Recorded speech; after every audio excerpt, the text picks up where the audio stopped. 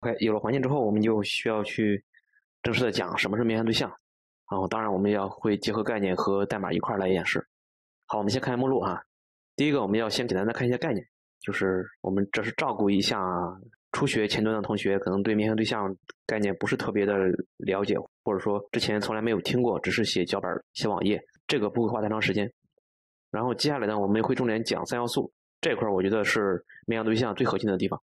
就是如果是你对这个集成封装多态了解的很清楚的话，那面向对象这一节基本上你就不用看了。但是话说回来，如果是你只是从来就做那个 GS，没有做过 Java、C Sharp 这种后端开发的话，我相信这个三要素你不会了解的很清楚。没关系，我们会在这一节详细的讲一下。第三个呢，就是这个 GS 的应用举例，就是我们看一下，说面向对象，面向对象，我在开发过程中我也没有怎么用过，到底什么是面向对象？你讲了这么多概念，讲了这么多什么要素，怎么用的到底？然后我们就看一个最实际、最经典的例子，就是那个 jQuery 的例子。最后我们要说一下面向对象的意义，就是说面向对象这个词儿，大家可能只要是做程序员、做开发的都听，无论是你用也好，不用也好，可能知道也好，不知道也好，可能是耳朵上都听起了茧子了。至少上学的时候老师会跟你说很多很多遍。那它到底有什么意义呢？这个可能会很少有人来告诉你。那我们这一节就简单的分析一下。好，我们先说一下概念，就是面向对象啊。它至少有两个概念，第一个是类，第二个是对象，就是我们也可以叫实例。我们挨着来看哈，类呢相当于就是一个模板，比如说我们定一个 person 的类，class person，它就是一个模板啊。我可以通过这个模板呢实例化很多对象，这个应该是比较简单好理解的，对吧？就跟我们之前那个 ES5 的那个构造函数一样。那你看我们这儿 class person 就是把 person 作为一个模板一个类，然后它这个构造函数里面，这是构造函数，就是说我们初始化的时候需要传什么东西。这是它定义的，我们需要传 name 和 age，就是说这个人啊，他肯定有名字和年龄，对不对？这两个呢，就是 this 点什么，this 点什么，这两个呢，就是它的两个属性。属性就是说一个人的一个特性，一个对象的一个特性，只能说叫特性。这个地方不是那么好用语言去解释啊，只能去用代码去解释。name 和 age 写好之后呢，人还有很多很多动作，对不对？它可以很多动作，它打人啦、骂人啦、吃饭啦、说话啦，对吧？那我们就简单列举几个哈，eat 就是它的一个动作，对吧？然后动作的行为呢，我们就是 alert 一个东西，然后 speak 也是一个动作，对吧？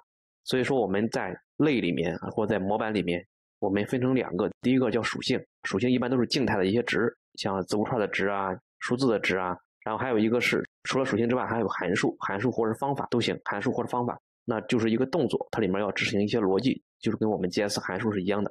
好，这是这个类，对吧？然后接下来对象，大家看，我可以通过这个类初始化或者实例化很多个对象。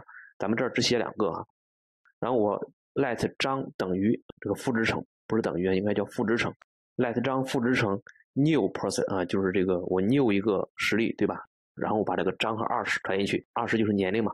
然后这个张就可以吃饭，可以说话了，对吧？然后 let 王等于 new person，我把这个王和二十一传进去，这个王也可以吃饭，也可以说话了。好，这就是我们的面向对象概念解释里面最简单的两个例子啊。好，接下来呢，我们把代码给演示一下啊，我们就就着这个开发环境吧，然后我们可以把它删掉之后重新写啊，就是这个 src 里面 index 点 js。好，然后我们这个命令行中，我们就是一直运行着。一直监听着这个文件变化，所以说我们也不用动了，我们只需要写代码就行了。好，class person 啊，根据我们 PPT 的内容哈，constructor name age，然后 this 点 name 复制成 name，this 点 age 复制成 age，对吧？好，eat 就是这个吃饭的这个动作哈，然后我们 alert 一个什么呢？alert，我们把这个。This 点 name 给它打出来就是谁，eat something 在吃东西啊，然后 speak，就是 alert 说话嘛，对吧？alert my my name is 什么？把这个名字给它打出来，然后 age 把这个年龄给它打出来，OK。这样的话，我们这个对象就创建完了，对吧？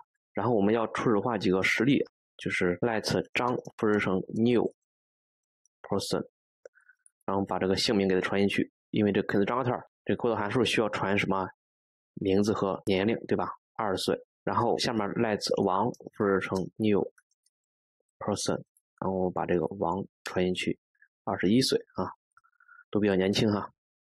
然后张可以 eat，对吧？张可以 speak，当然王也可以 eat，王也可以 speak。好，这个时候我们还没有保存啊，我们只要一保存，那根据我们之前的开发环境的这个规则，我们只要源码一保存，这个页面就会重新加载，对吧？就会运行我这个代码。我们看一下保存。好，大家看，张 eat something。My name is 张，age 二十。王 eat something。My name is Wang Yi，呃 age 二十一。好，这样的话就说明什么呢？就说明我们这个代码真正的运行起来，真正的跑起来了。这就是我们 PPT 里面代码的演示，大家可以跟着来做一遍，就是用之前的开发环境做就行。